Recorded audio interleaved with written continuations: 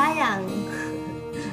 sayang yung mga alaala at memories. Sayang yung araw at taon na pinagsamahan